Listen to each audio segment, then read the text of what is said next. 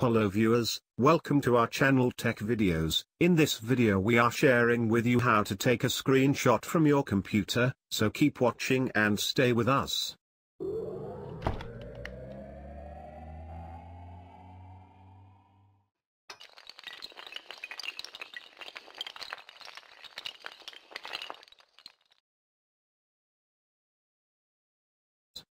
First click on Windows icon, from bottom of the left corner. And search Snipping Tool. Then click on Snipping Tool option.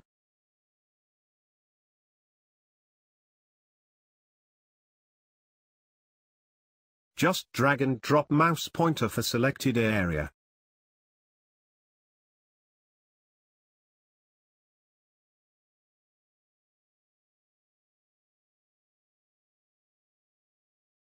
Finally you can see this interface, if you want to edit your screenshot file, you will use this option. Click on File option. Then click on Save As option. Choose a location, where you want to save. Give a name. And choose a format for your file.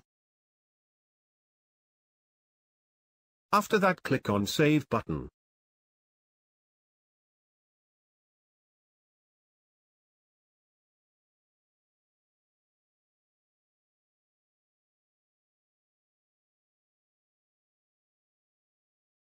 You can see my file is saved here.